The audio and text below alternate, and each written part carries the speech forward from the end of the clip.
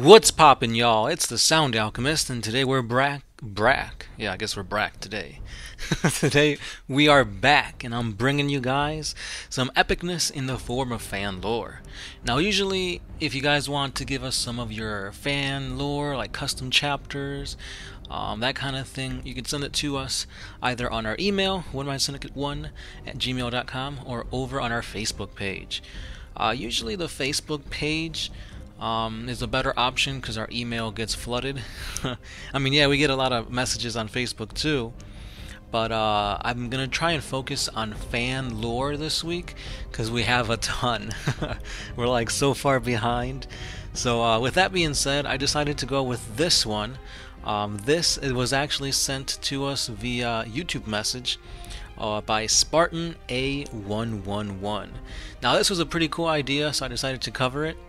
So basically, he sent us a huge comment letting us know about his custom fan made Primarch and his Legion. So without further ado, guys, let's dive into this fan lore. So the name of his Primarch is Dorvanicus. He's currently 30, and his species is that of a human psyker. Um, he was part of the first founding, the 21st Legion, the Void Riders. He does have psychic abilities, and one of those abilities is called the Dragon's Frost, which he roars out a blast of extremely cold warp ice out of his mouth that freezes his foes solid. He also has the ability of Dragonflight, where he spawns dragon wings made of warp energy to achieve flight of up to 95 miles an hour. But the warp abilities do not end there. He also has the Dragon Claws, which are psychic claws of warp energy that can rip through adamantium like a chainsword cutting through flesh. On top of this, he can communicate uh, with a little show of domination and he can command dragons, along with a superhuman uh, heightened smelling and night vision due to hunting prey during the night. On top of this, he has superhuman strength and apparently he can lift up to two dreadnoughts with his bare hands, guys. This dude is a beast. But even beasts have flaws. He has the genetic defect called the Dragon's Fury. Uh, this defect happens during the greatest of battles, where rage just keeps building and building until he goes feral for a short period of time. He has very little self-control in this state, and his skin becomes resilient to damage and becomes somewhat scaly, with his fingertips turning into razor-sharp claws, and his pupils dilating, and it turns out that he looks very reptilian-like in this state.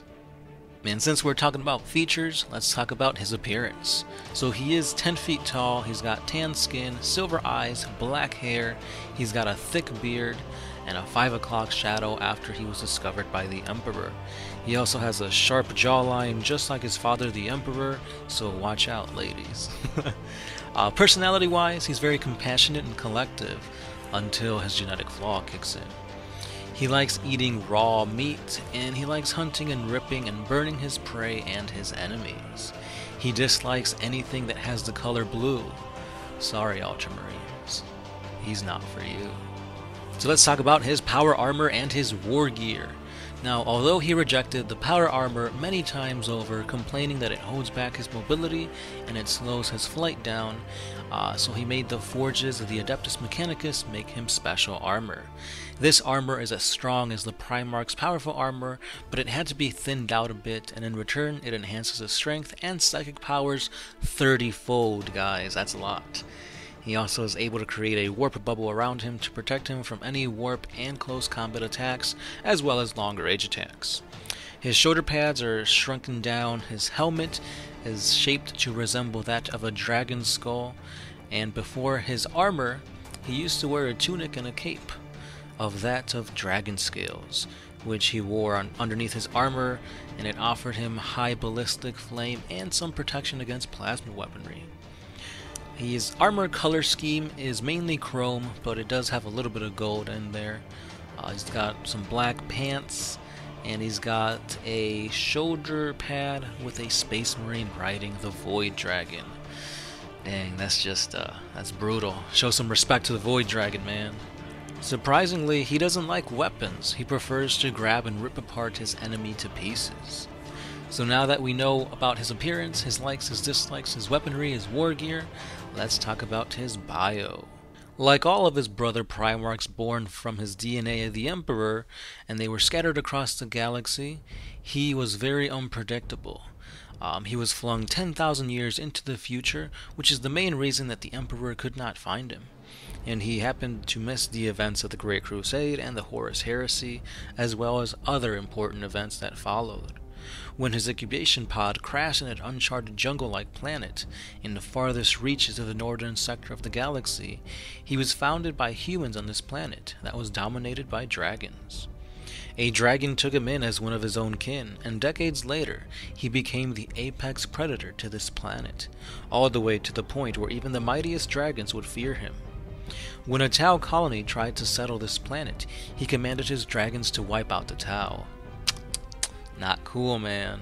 During this battle, a few crisis suits were ripped apart to the point where it looked like a busted can of soup. Man, that's too much, you gotta stop. Later, at some point, Dorvanicus was discovered by the Ultramarines, but he immediately thought that they were the Tau and he attacked them once again, taking heavy losses. It took many months for the Ultramarines to track him down, but Dorvanicus and his dragons attacked them using ambush tactics as well as hit and run attacks along a straightforward assault, until Guilliman happened to step in. Guilliman fought Dorvanicus and he managed to hold him down long enough to be sedated. Later, Dorvanicus was taken immediately to Terra, where he was taken to the Imperial Palace to show him the skeletal remains of his father, the Emperor of Mankind. They spoke with one another telepathically, and immediately they recognized one another, and he knelt to the God Emperor, showing a sign of respect. Thus began the, began the education in the arts of war, literature, but Dorvanicus rarely speaks. Later on, he was introduced to his legion that has been searching for their lost Primarch for over 10 millennia, and the Imperium has designated the world that he would be in charge of, the new homeworld of the Void Raiders. And with that, guys, that concludes the fan lore that was sent to us by Spartan A111, or 111. So thanks for that lore, Spartan. This was a pretty interesting read. I get the feeling that a lot of Warhammer 40k players really like dragons. Your Primarch isn't the first one to have dragon-like features, um, but it's, it's, it sounds pretty cool.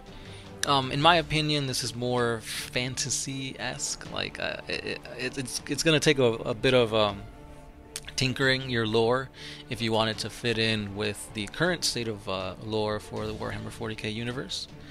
Um, but it's a cool idea nonetheless.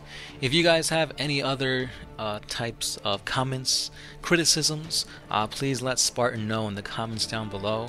Um, but yeah, in my opinion, it's pretty cool. The uh, thought of having that ice breath, that sounds pretty badass. But yeah, if anybody else has their own little fan lore, maybe you've got your own little Eldar um, craft world you guys have come up with, send it over to us on our Facebook page would be the best place, or on our email. And that's, that's pretty much it for today, guys. Just wanted to showcase this little tidbit of fan lore. Um, expect more fan lore coming throughout the week, uh, but I do want to put out a uh, 40 facts video on the Tau 4th and 5th Sphere expansions now that the lore is out. On top of that, uh, the Necron stuff did come out, and the Drukhari, I believe is what they're calling themselves now, the Dark Eldar, are coming out this weekend, so I do want to do some videos focusing on that. So expect some more Xenos videos throughout the week, guys, and yeah, that's all I got. I'm the Sound Alchemist, part of One Mind Syndicate, and I'll catch you guys tomorrow.